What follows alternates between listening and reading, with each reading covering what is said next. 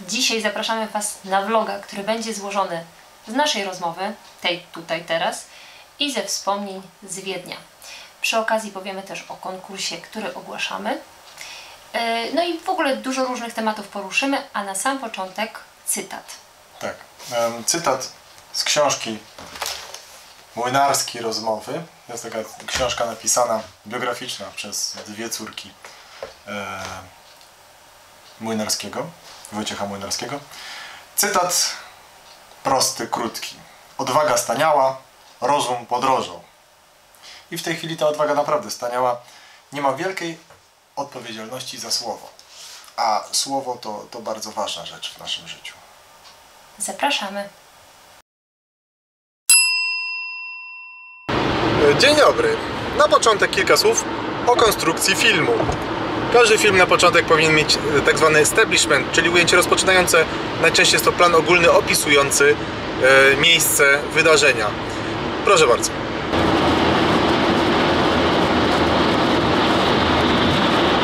Jadę właśnie do Wiednia, do pracy, do telewizji. E, tak się zastanawiałem, zgadzając się na to, że no przecież marze, marzec to już będzie ciepło, ładnie. A więc dobra, zgodzę się na te kilka dni. To i z dojazdem, z dojazdem będzie dużo fajniej, już może nawet inna kurtka. Tymczasem siedzę w samochodzie w kurce.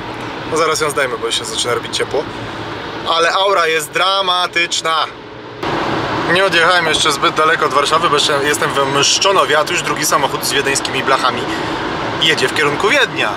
No proszę bardzo, ja rozumiem, że jest niedziela, kończy się weekend, ale czyżby to Austriacy tak przyjeżdżali do Warszawy na weekend? Jeżeli to jeden z naszych widzów, proszę się przyznać. Audi Q7 W, jak Wiedeń, począteczek tablicy 80, końcóweczka C. Jeżeli nas oglądacie, odezwijcie się, będzie nagroda. Audi Q7. Musiałem wyłączyć radio, bo włączyli Kasię Kowalską, a Kasia Kowalska ma dla mnie coś takiego jak Lars von Trier, taki reżyser holenderski. On robiąc filmy leczy się z depresji, a wszyscy, którzy je oglądają dostają tej depresji. Ja to samo z piosenkami Kasi Kowalskiej. Dostaję depresji, kiedy słucham o jej Tymczasem powinna śpiewać nam tutaj Mariah Carey, gdyż zima zaskoczyła drogowców, jak zwykle. Na początku bardzo chciałabym podziękować naszym widzom za życzliwość, za komentarze, za wsparcie. E, przygotowywałam ostatnio zdjęcia do wywiadu, który był przeprowadzony z nami dla wiedeńskiego pisma Polonika. No i okazało się, że w ogóle nie mamy zdjęć razem. Szef bez butów chodzi. Tak zwykle jest Tak jakoś wyszło. tak jakoś wyszło i em, przy okazji też czytałam wszystko to, co powiedzieliśmy. No i tam wspominamy o tym, że nie mamy dużej grupy odbiorców, ale mamy bardzo życzliwych widzów. E, Często też z tymi naszymi widzami mamy taki kontakt prywatny, co bardzo cenię i za to dziękuję. I ostatnio jedno z, z jedną z naszych widzek rozmawiałam o tym, że ten język w internecie jest coraz bardziej ubogi, i o tym też Jurek opowiadał, kiedy jechał do Wiednia. I nie o to chodzi, że chcemy kogokolwiek pouczać, bo sami nie mówimy idealnie, ale rzeczywiście chyba w ogóle coraz mniej czytamy. Jako społeczeństwo, tak. Mimo, że mm, dostęp do książek jest. No ale zobaczcie sami. Dzień dobry Państwu, nie będę dużo nagrywał, gdyż jadę samochodem, ale kolejny dzień w Wiedniu. Kolejne przygody. Dzisiaj na przykład wybieram się do fryzjera. Ulubionego fryzjera w 10 becyrku. Jest to taki turecki duży zakład fryzjerski. Może uda mi się tam coś nagrać. No i tak, mili Państwo, kolejny dzień w Wiedniu. Tak się mówi, tak jak w Krakowie, w Wiedniu. Nie, we Krakowie, tylko w Krakowie, w Wiedniu. W Austrii, nie w Austrii. Jestem Polakiem, nie Poliakiem. To tak tylko takie e, naszły mnie, czytając polskie fora, takie przemyślenia mnie naszły. Jednocześnie czytam też książkę Młynarskiego, gdzie em, pan Wojciech Młynarski, tekściarz, polonista, e, opowiadał, to jest taki wywiad jego dwóch córek z nim, opowiadał o tym, jak ważne jest, aby dla siebie samego, żeby, żeby dobrze się wypowiadać, poprawnie, po polsku. Dlatego też podjąłem ten trudny temat. Domyślam się, że, że mogę zostać zhejtowany, mówiąc brzydko, ale warto mówić, warto mówić poprawnie. Chociaż z drugiej strony nie, dlaczego sejtowany? Przecież ja nic nikomu personalnie nie powiedziałem. Zwracam tylko uwagę na pewien fakt, a jak ktoś mówi niepoprawnie, to jest źle. A więc no, nie dajmy się też mm, dzisiejszym czasom, kiedy każdy ma prawo mówić tak, jak mu się podoba. Tak, każdy ma prawo mówić, jak mu się podoba. Niech, niech mówi, jak chce. Ale poprawnie jest jedna reguła i według tej reguły mówi się poprawnie. I jeszcze szybkie pytanie. Jest 7.40. Czy w Wiedniu są korki? Zakładamy, że nikt się nie przykleja do ulicy i patrzymy przed siebie. Uwaga.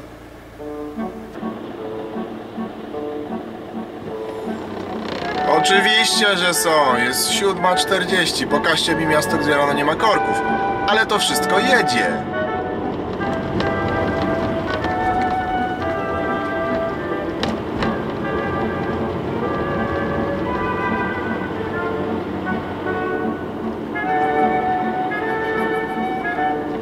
Jadę na konferencję do austriackich linii kolejowych ÖBB. E, Zabiorę ze sobą aparat, bo będzie to w takim budynku, e, który jest no, bardzo duży. Może uda mi się zrobić jakąś panoramę na Wiedeń, to pokażę Wam trochę Wiednia. Naszła mnie taka refleksja, czym się różnią vlogerzy od e, profesjonalistów w telewizji na przykład. Vlogerzy, no tak jak ja dzisiaj, i zazwyczaj nie mam jakiegoś takiej, takiego wspaniałego humoru, nie jestem uśmiechnięty, mimo że, że czuję się dobrze i że bardzo Was lubię.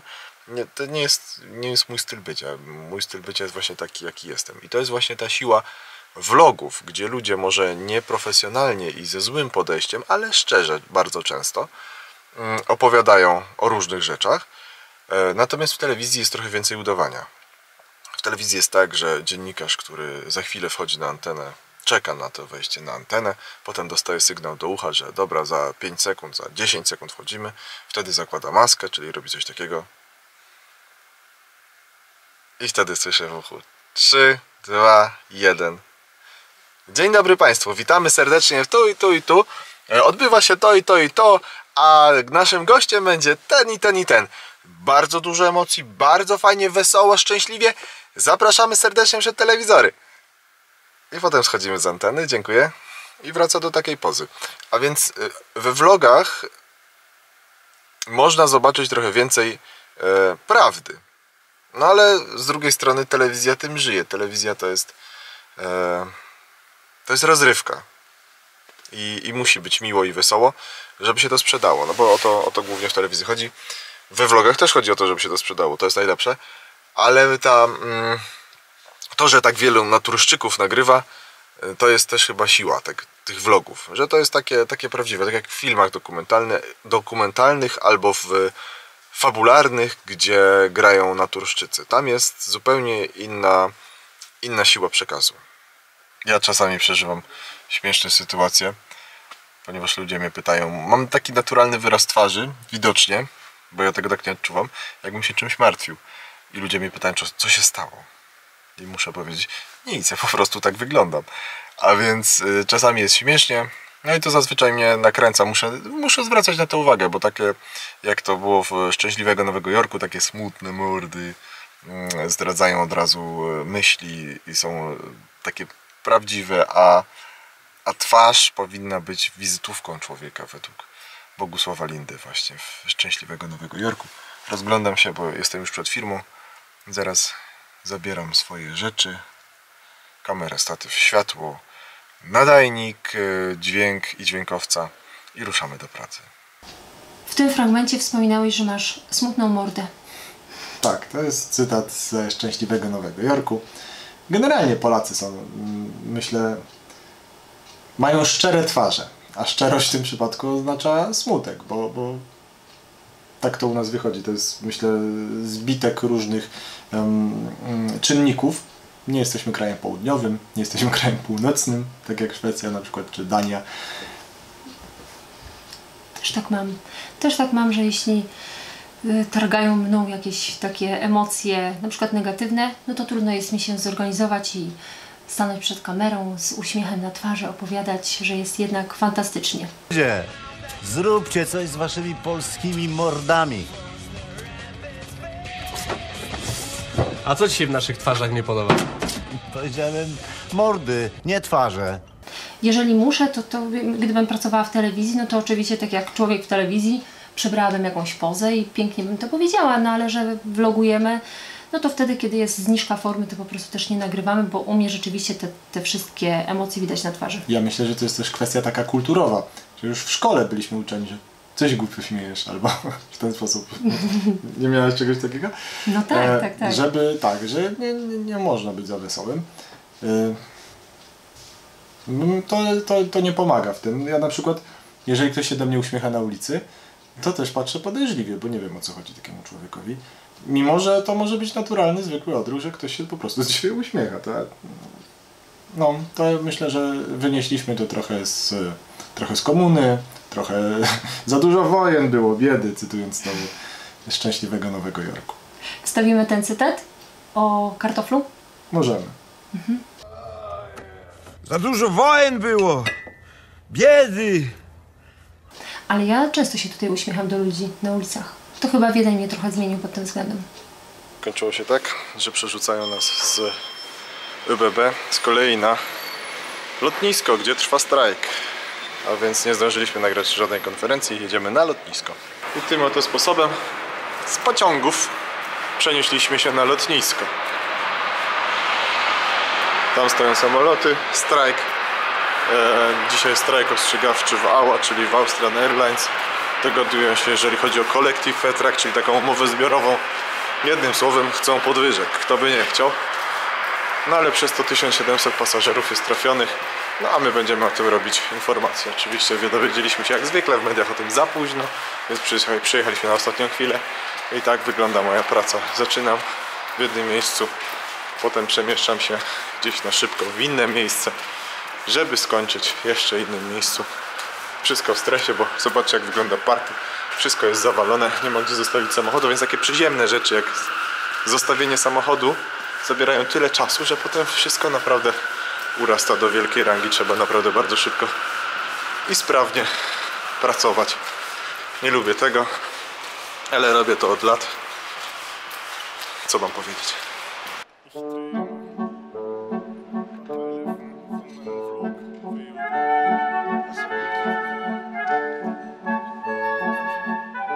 Jesteśmy na miejscu. Z tyłu toczą się rozmowy wszystkich pracowników Austrian Airlines. Nie ma jakichś wielkich przestojów na lotnisku.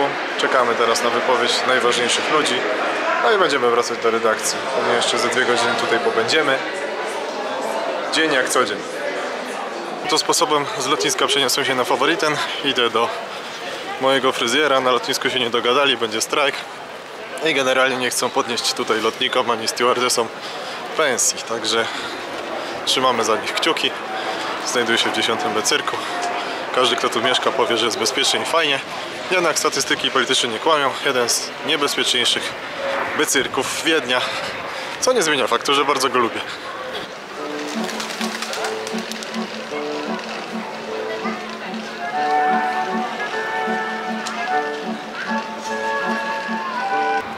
No i jestem.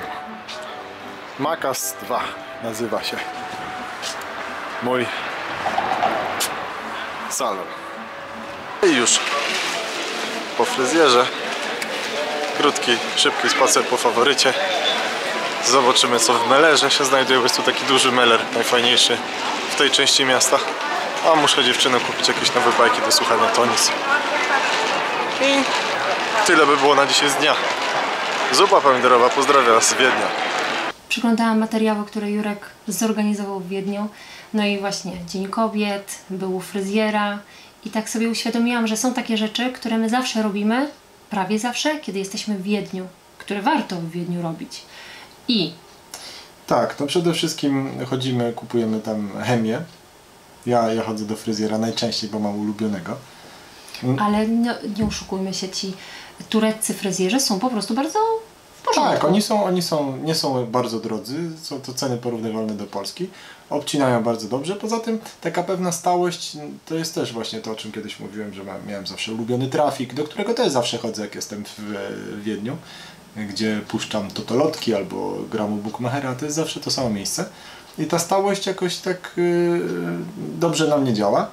Yy, co tam jeszcze robimy? Ja sobie nawet to wszystko wypisałam. Tak, fryzjer to już powiedziałam. Chemia, płyny, nie dlatego, że zawsze jest super akcja, super promocja, ale też jakość, o czym wspominaliśmy też. Słodycze, których staramy się unikać, ale czasami no jednak kupujemy. Jest pewien rodzaj słodyczy, których nie ma u nas, a które są jakby e, lepsze. Albo na przykład teraz jest Wielkanoc, to są ciekawie, ciekawe grafiki takie na tych słodyczach, więc też czasami kupujemy takie sezonowe rzeczy. Albo Lebkuchen, kiedy są święta e, Boże Narodzenie. Książeczki dla dziewczyn, mm, bajki po niemiecku. Kiełbaski kupujemy, których nie ma tutaj, bo tam są bardzo dobrej jakości kiełbaski. Kawa, To zdecydowanie. ubrania. Ubrania, bo są dobre promocje. Naprawdę można kupić dużo taniej ubrania, czy buty chociażby, e, niż w Polsce. To są po, połowa ceny, także opłaca się. Po No. prostu się opłaca. Tak, takich promocji nie ma u nas jeszcze w Polsce, tak więc korzystamy z tego, co tam jest. No i ja też zaznaczyłam sobie, że zawsze spokojnie żyjesz, kiedy tam jesteś. Znaczy tak w miarę możliwości, bo wiadomo, że pracujesz i ten taki grafik jest napięty. Jest inne tempo. No To wystarczy. Jeszcze wina są super. A, tak, wina też zawsze. przy- Wino szpricera. Białe wino. Weltlinera najczęściej. Tak więc są rzeczy, które zawsze robimy, kiedy jesteśmy w Wiedniu. Oczywiście też oddychamy pełną piersią i pijemy wodę z kranówki. I ostatnio padło pytanie, pijesz dużo w ciągu dnia? A Jurek mówi, no tak, jasne, no mam kranówkę, to w ogóle Tak zwana kraniczanka. dni był w Wiedniu, a my tutaj na miejscu w Warszawie z dziewczynami. Trochę chorowałyśmy, jakieś drobne katary nas dopadły. Myślę, że to jest taka końcówka sezonu, za chwilę będzie wiosna i po prostu będzie łatwiej. Tak więc u nas zwykła domowa nuda, a znowu u Ciebie ważne wywiady, trochę kulisy Twojej pracy, Tak, to kosmiczne wywiady. Wszystko do zobaczenia przed Wami. No więc, więc tak, proszę Państwa, znajdujemy się w dzielnicy pierwszej w części ministeriów, a więc po mojej prawej Ministerium Spraw Wewnętrznych, ale nie to nas dzisiaj interesuje. Tak się złożyło, zaskoczyło nas jak co roku, że jest dzisiaj Dzień Kobiet. Dzień Kobiet, a więc e, po niemiecku Frauentag. Tutaj się mówi International Frauentag, żeby tak podkreślić, że to jest taki Międzynarodowy Dzień Kobiet. No i tutaj przy Minoritenkirche, tak się nazywa ten kościół, przy którym się znajduje, znajduje się również wejście do stacji metra. Do stacji metra numer 3, czyli U-Bahn 3, U3 tak zwane. I proszę Państwa, ta stacja nazywa się Herrengasse, czyli stacja panów. Jak już wspominałem, Herrengasse. Wchodzimy tym wejściem i co widzimy? Proszę Państwa, Frauengasse. Na dzień dzisiejszy stacja metra U3 Herrengasse na Dzień Kobiet zmieniła nazwę na Uliczka Kobiet.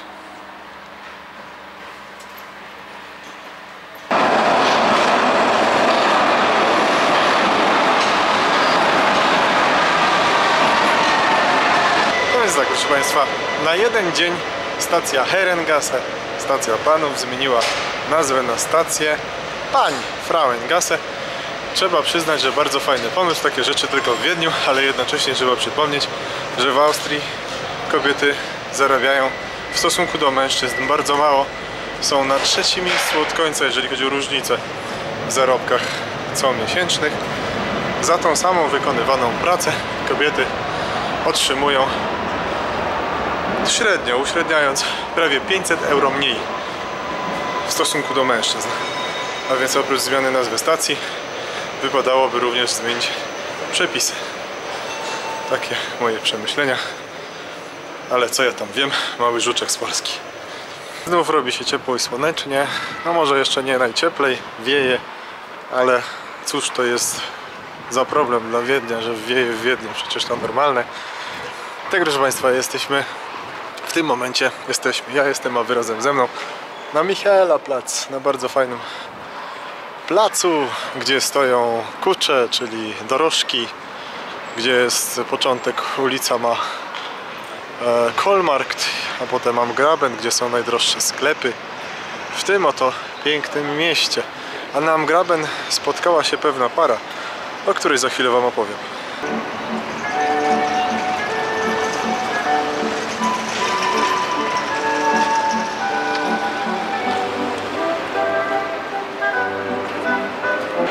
To kawałek historyjki na dzisiaj. Kto zna Juliana Fałata? Ręka do góry. Kim był? Pisarzem, architektem, malarzem. No malarzem był. Malarzem był i Julian Fałat, wybitny człowiek. Miał córkę. I ta jego córka bardzo młodo zakochała się z pewnym Polako-Austriaku, Igo Sym się nazywał, który aspirował do tego, żeby być aktorem. Grał nawet w filmach polskich, austriackich. Potem trochę przesadził i w niemieckich, przez co zresztą zginął. Został zastrzelony na, na Mazowieckiej. No i ta ich miłość była taka bardzo wybuchowa. E, nie dogadali się, bo on robił karierę. I biedna, nie pomnę jej imienia, córka Juliana Fałata, Fałatówna, spotkała go tutaj na Amgraben, opisała to w liście do taty nawet, opisała na tym jak to chodząc po graben spotkała swojego byłego Igo, którego pewnie cały czas jeszcze kochała.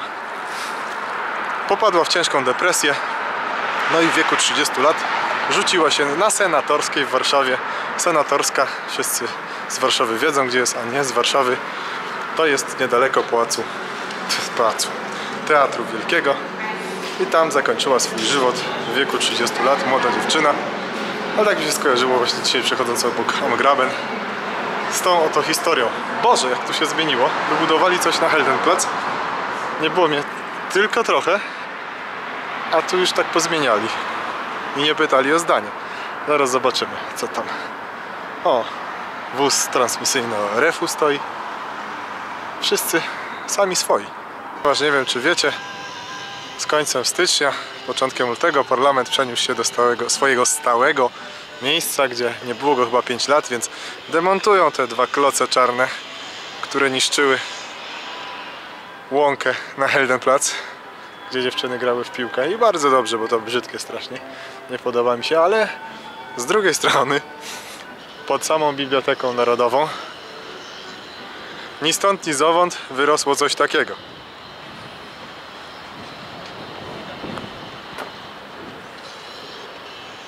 Co to jest, nie wiem. Ładne to nie jest. Zadaszone. No i pasuje tu jak przysłowiowa pięść do przysłowiego, przysłowiowego nosa. Muszę poćwiczyć dykcję, gdyż kiepsko mi to idzie. Chłopaki z wozu. Widzę, że ktoś tam jest, ale nie zsyła materiału, bo antena jest opuszczona. No dobrze, nie będę im przeszkadzał. Idźmy dalej. Zdaję sobie sprawę z tego, że te nasze vlogi to są takie różnorodne, czasami jesteśmy razem, czasami osobno, ale nasi widzowie głów zazwyczaj mówią, że wolą jak jesteśmy razem w tych filmach, a nie osobno. No i Dlatego jesteśmy razem. Dlatego jesteśmy razem. A, a jednocześnie ja się multiplikuję i cofam w czasie i opowiadam o tym, co słuchacie chwilę wcześniej. No i taki napakowany jest ten dzisiejszy vlog. Jest dużo informacji. Jak zerkałam na relację Jurka, to po prostu też czego ty nie robiłeś. My tutaj mogłyśmy bałwana lepić, bo u nas padał śnieg, a u ciebie otwarcie sezonu tichego. Dokładnie. No to jest 700 km różnicy, ale temperatura naprawdę inna. Inny klimat, zupełnie inny klimat. Mm, Starałem się wykorzystać ten czas na, na maksimum, żeby, żeby wyciągnąć z niego jak się, najwięcej jak się da. To może ja jeszcze wspomnę, że kiedy tutaj byłyśmy na miejscu z dziewczynami, no to one miały oczywiście swoje zajęcia. Froni kilka dni była w domu.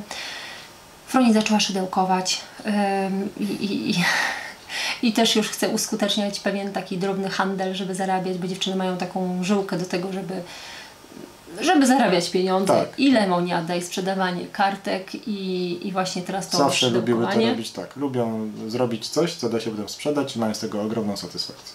Uważam to za duży plus, bo są przedsiębiorcze. I wcale nie trzeba ich do tego namawiać, same to lubią.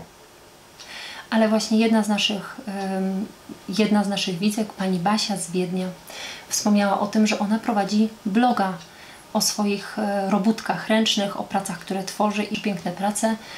e, ręcznie robione kartki, cuda, tak więc ja tutaj wstawiam tego bloga. Jeżeli macie ochotę, to zerknijcie i zostawcie jakiś komentarz koniecznie, bo prace są przepiękne. A my też będziemy tworzyć dalej. Dziewczyny będą dalej robić różne swoje dzieła.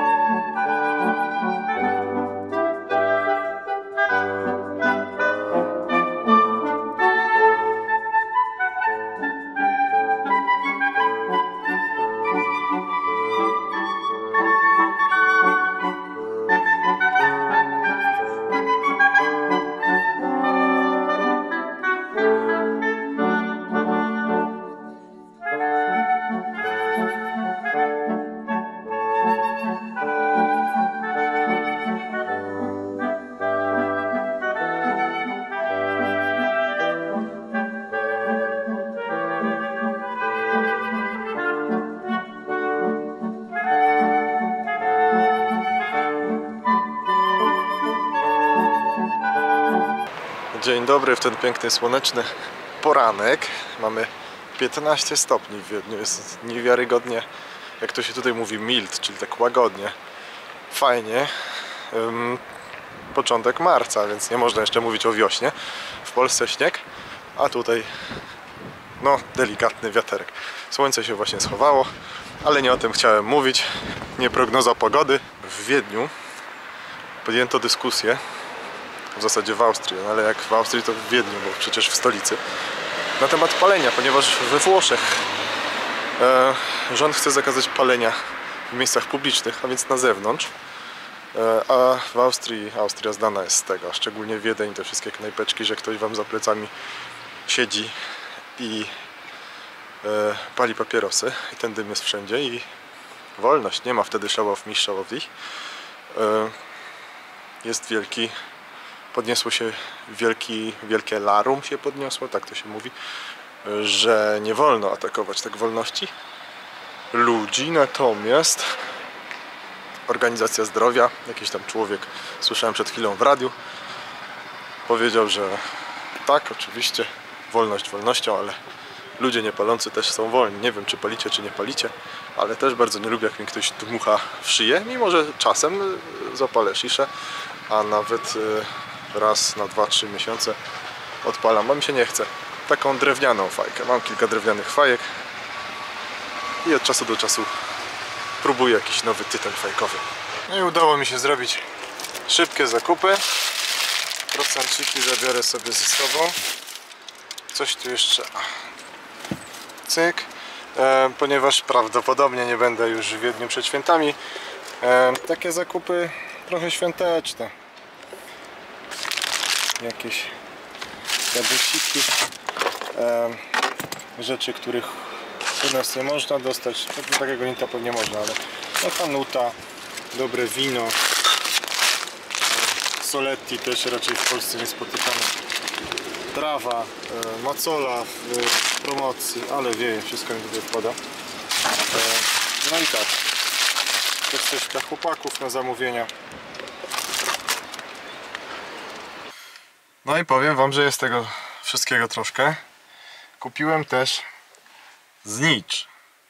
Znicz kupiłem dlatego, że ponad rok temu e, umarł na raka mój bardzo dobry e, kolega, z którym często pracowałem, reporter, e, który nauczył mnie Wiednia. Pokazał mi wszystkie ciekawsze, fajniejsze miejsca, skróty, objaśniał, opowiadał. Naprawdę typowy wiedeńczyk, typowy wina melange, e, dla którego było wszystko jedno, a więc te powiedzonko wiedeńskie wszystko jedno. Znane jest również w Polsce. E, także pomyślałem o nim jadąc w tą stronę, bo przemierzałem dwa becyrki I skoro o nim pomyślałem, to stwierdziłem, że zapalę mu znicz, bo nie pomyślałem o nim bez e, znaczenia. To znaczy, skoro tak się stało, to pewnie ja przynajmniej tak uważam. Mam takie, takie dziwne, nie wiem czy dziwne, ale takie swoje e, odczucia. Czucie i wiara silniej mówi do mnie niż merca szkiełko i oko. E, I w momencie, kiedy o kimś takim pomyślę, i, a jestem i mam możliwość, bo zaczynam dzisiaj po południu, em, to zaraz podjadę na cmentarz i zapalę mu tam znicz. E, to będzie taki symbol, że, że o nim pamiętam. Myślę, że to wystarczy. Co więcej możemy zrobić. Bo samo to, że się o kimś pomyśli, e, powinno już wystarczyć, ale ja do tego dodaję zawsze jakiś gest, który kosztuje mnie jakiegoś minimalnie trochę wysiłku. To wtedy ten gest e, jest też potwierdzony tym wysiłkiem i, i to no, no, ważne jest w życiu chyba. A wracając do, do palenia, bo pomyślałem sobie mm, o, o tym, że na przykład mm, idziemy grupą znajomych do, do kawiarni czy do restauracji siedzimy na zewnątrz, a ten zakaz już wszedł, a więc nie można palić na zewnątrz. Ja jestem, bardzo dużo mnie kosztują wszelkie zakazy. Nie lubię, jak ktoś mi mówi, jak mam żyć i co jest dla mnie lepsze, jak ktoś wie lepiej ode mnie. Ym, Dlatego uważam, że jeżeli już wprowadzą taki zakaz, czy to w całej Europie, czy, czy w poszczególnych krajach palenia na zewnątrz, to powinny być wyznaczone miejsca, gdzie można na zewnątrz palić, a więc idziemy grupą, ktoś chce iść zapalić, wychodzi e, tam, gdzie chce zapalić, zapa- pali sobie do woli, wraca i wszyscy są szczęśliwi. Nie dyskryminujmy nikogo, ani palaczy, ani niepalących, nie zabierajmy wolności, bo czasy i tak są głupie. Jeszcze jedna rzecz, już naprawdę jadę. Pod wpływem książki, którą dostałem na urodziny y, Młynarskiego, e, napisałem pewien e, fragment, pewien mini, mini wierszyk, e, który wam przeczytam. Ciekaw jestem waszej opinii. Ja pisałem kiedyś wiersze, pisałem teksty piosenek i piszę teksty piosenek. Tylko robię to tak naprawdę od przypadku do przypadku. Nie mam momentu ani czasu, żeby się na tym skupić, a takie pisanie to, to, to nie jest od weny do weny, to jest po prostu ciężka, codzienna praca. Trzeba usiąść i pisać. Pisać, poprawiać, obserwować świat, z tego wyciągać wnioski i pisać dalej. To jest tylko i wyłącznie katorżnicza praca, e, wysiedziana. Wystarczy trochę polotu, wystarczy trochę jakiegoś talentu do tego wszystkiego. Trzeba lubić język polski, e, trochę się orientować w tych wszystkich e, e, sprawach, jeżeli chodzi o, o, o rymowanie, bo ja bardzo lubię, zawsze pisałem rymowane wiersze. Mm, Napisałem na Dzień Kobiet, wczoraj poczyniłem taki, taki krótki wierszyk. E, Dzisiaj do, dokonam poprawek i postaram się Wam odczytać. Ciekaw jestem Waszego zdania, naprawdę, bo, no bo pisze się dla ludzi, pisze się dla kogoś i ciekaw jestem, czy podoba Wam się taki styl, jaki reprezentuje. A Wojciech Młynarski był moim guru, naprawdę, a jak Agnieszka Osiecka czy Jacek Cygan, to są nazwiska Bogdan Olewicz, przed którymi naprawdę klękajcie narody. Nie nagrywam tutaj, bo strasznie wieje.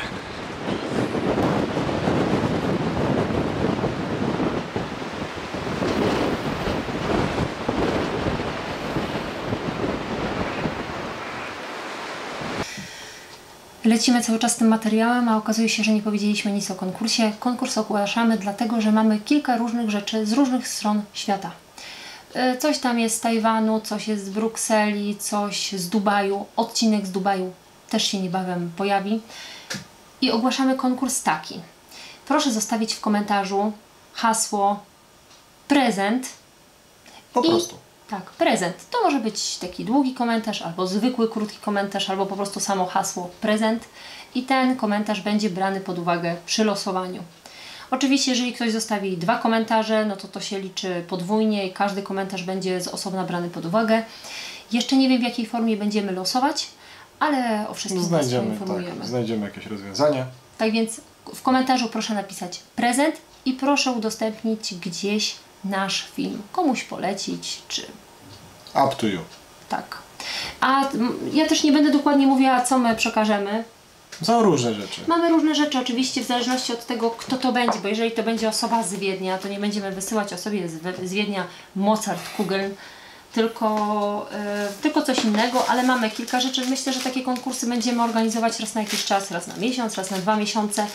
Mamy różne, mamy na przykład to jest e, magnes z Dubaju albo z Berlina. Jakieś takie drobne rzeczy wielkanocne, więc chcemy szybko to rozstrzygnąć, szybko wysłać. Żeby zdążyć jeszcze przed świętami. Wiele to jest tak. To może Tak, no różne, różne rzeczy, różne słodycze. tak więc zapraszamy. Jeszcze raz bierzcie powtórzę. udział. Tak.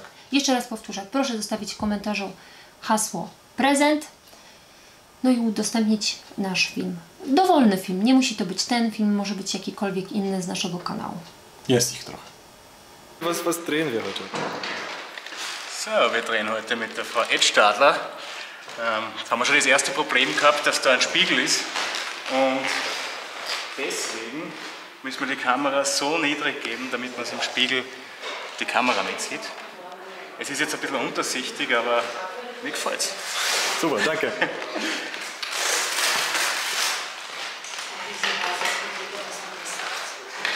Ostatnie przygotowania do wywiadu, ale jak to zawsze w Wiedniu bywa, zawsze jest czas. Na co? Na kawę. A do kawy tradycyjne wiedeńskie paneśnity. A więc szybka kawka i nagrywamy.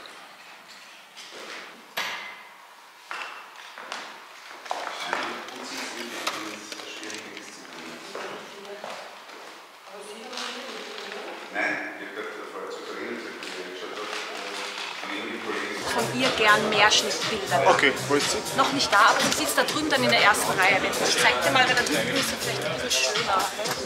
Ja, da ist das eher schön. Warte, hängen wir da nochmal an. Keine Angst, das soll jetzt nicht verlieren. Alles ist möglich, nur nicht vor den Boxen, bitte, wenn es geht. Aber so. Ja, aber das geht doch, da ist eh möglich. Da? Darauf? Ja. Vor, wenn es rechts. Links, rechts. Questo da, io lo tengo. Fortuno.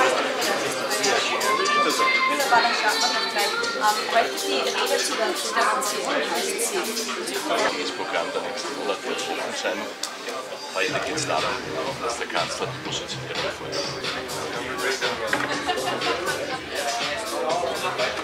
Durch neue Vorgaben aus der EU und durch neue Regelungen der Finanzmarktaufsicht. Und dennoch ist Eigentum so wichtig für die Menschen, weil wir längst die. Diskussion überwinden müssen. Ich habe sie jetzt erst unlängst wieder gehört und hab- 2030. war echt verblüfft, dass sie tatsächlich so noch geführt wird, dass nämlich von der besitzenden Klasse und der nicht besitzenden Klasse gesprochen wird. Damit löse ich keine Zukunftsfragen. Und es kann und soll nicht unser Ziel sein, dass Menschen grundsätzlich von der öffentlichen Hand abhängig sind. No i tak, kanclerz poopowiadał trochę swojej historii na temat 2030 roku. Nie wiem skąd on wie, co to będzie za tyle lat, skoro nie wiadomo co będzie za miesiąc, ale to jest polityka, z tym się nie dyskutuje. To jest inny stan kosmosu.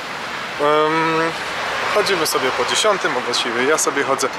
Tak niedawno to było, tak niedawno, kiedy tu się normalnie spacerowało, a to już ponad 10 lat, jak się Froni urodziła. I 10 lat szybko minęło. Teraz jestem tu tylko gościem. Chociaż cały czas czuję się tutaj jak w domu. Za mną chodzi pan, który sprawdza e, parkometry. Nie wiem, czy go widać, ale nie chcę go nagrywać, bo to są wszyscy na tym punkcie bardzo czuli. E, Dzisiaj kolejny sezon rusza i to nie jest sezon na Netflixie, tylko kolejny sezon lodów Utichego. Zaraz zobaczycie o co mi chodzi. Tak, mamy. Nie wiem kiedy to zostanie wyemitowane, wrzucone na YouTube, ale mamy dzisiaj 10 marca, a to oznacza nowy sezon lodów Utichego. Ciekaw jestem po ile jest gałka, a właściwie trzy gałki, bo najmniejsza porcja to są trzy gałki. Zmierzam tam, zaraz Wam o wszystkim opowiem. Jedynego mogę być pewny, będą smakowały tak jak zwykle. Jestem już pod salonem. Wiecie co wam powiem? Nie tylko ja wpadłem na ten pomysł, żeby przyjść na lody dzisiaj. Jest dziki tłum. Tak, z ręką na sercu. 50 metrów.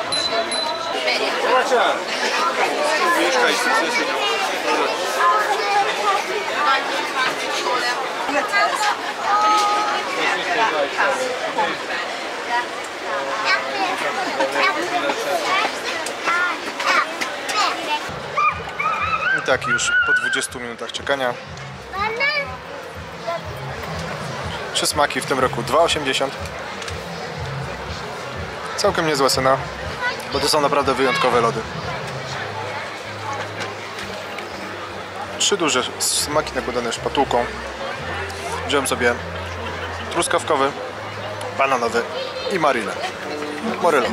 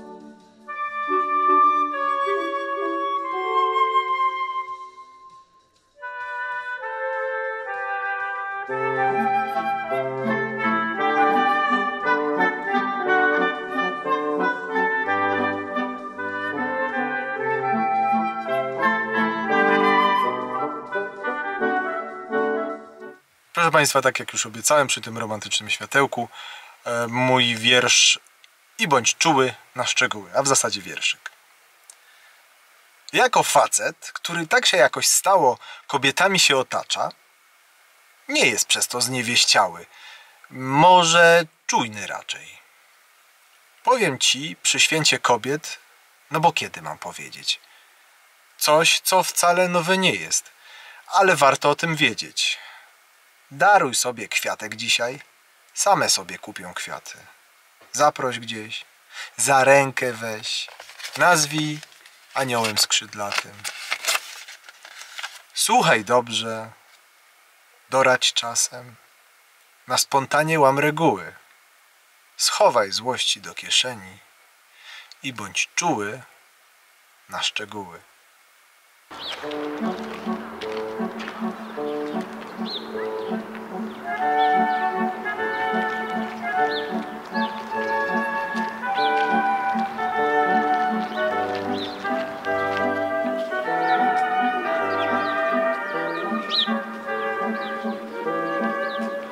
Jeszcze nigdy nie widziałem tak bardzo obciętych drzew w Volksgarten. To dopiero początek sezonu. Wiosna dopiero za chwilę się zacznie. Ale chyba będzie bardzo mało cienia w tym roku. Zobaczymy. Przekonamy się za 2-3 miesiące. Jak na razie wszystko kwitnie. Wszystko, no, kilka drzewek już kwitnie. Pojawiają się pąki, pojawiają się liście zielone, piękna zieleń, a to dopiero początek marca. W Wiedniu zawsze szybko się to szybko się to dzieje. Róże, klomby jeszcze są pozasłaniane tymi workami od kawy, czy po kawie brazylijskiej najczęściej. Mm, ale widzę, że po drugiej stronie zakwitło drzewa, więc przejdziemy się tam.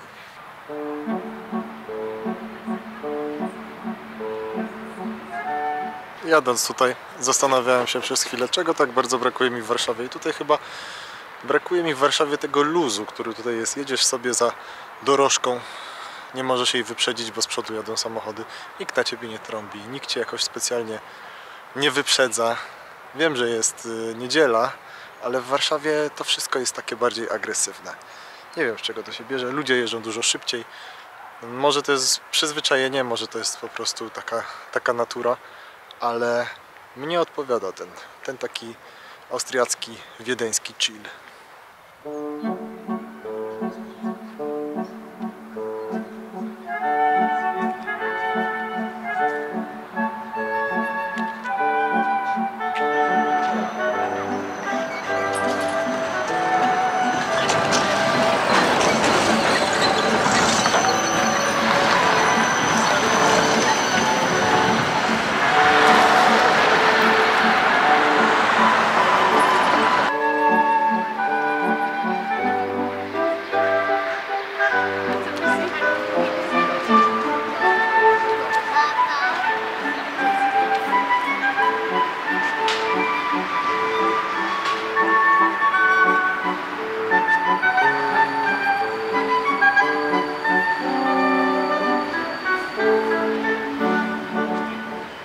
to drzewko, o którym mówiłem, pierwsza połowa marca, a tutaj kwitną drzewa. Nie wiem co to za drzewa, ale ładnie kwitną.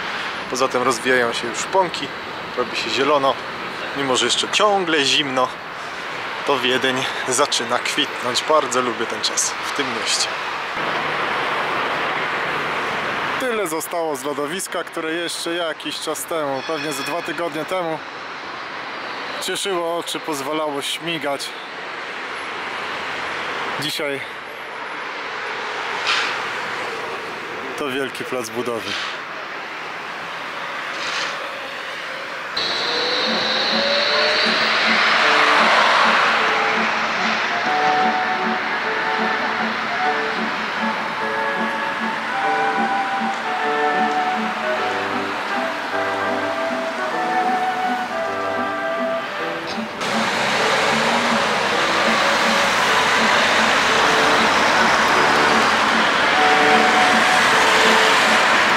Ogromne tureckie wesele za moimi plecami. Sesja zdjęciowa właśnie się odbyła. Panna młoda schodzi po schodach. Wielki hammer stoi przed, przed parkiem. Także oni lubią wszystko robić z rozmachem. Ciekawe czy uda mi się ją wyostrzyć.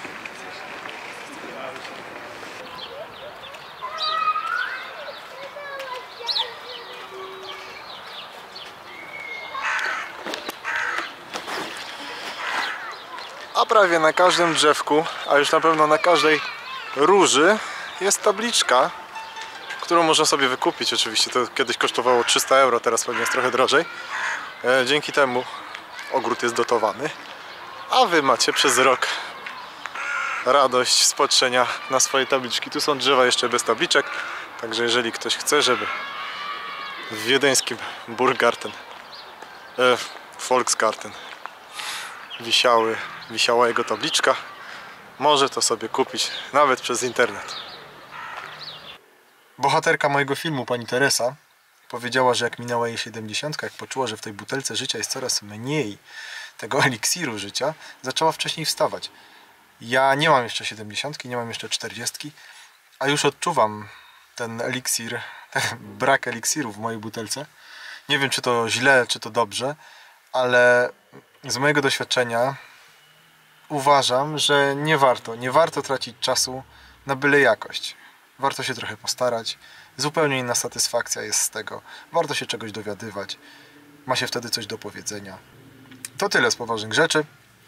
E, Z niepoważnych e, właśnie ustawiła się przede mną kolejka, chciałem wyjechać, ale tureckie wesele e, ma zamiar wyjechać i zakorkowało cały wyjazd.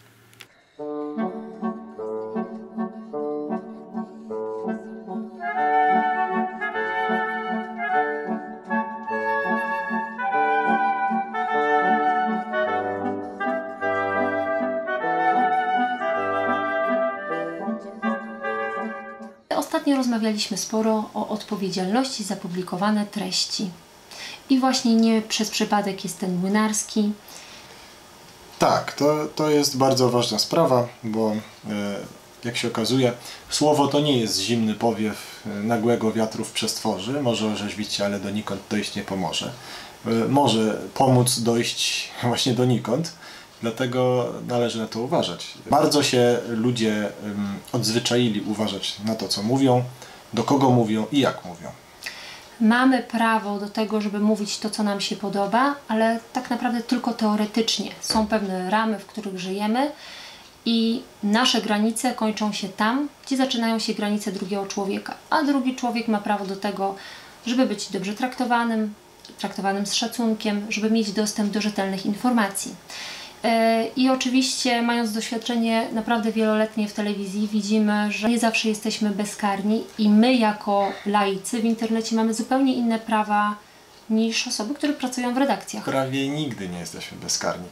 E, Redakcje, zanim zdecydują się coś opublikować, pomijając to, że prawdziwi reporterzy, dziennikarze znają e, zasady, co, na czym polega wolność słowa i, i z czym się wiąże potem sprostowanie, ewentualnie jeżeli ktoś poda nas e, do sądu e, za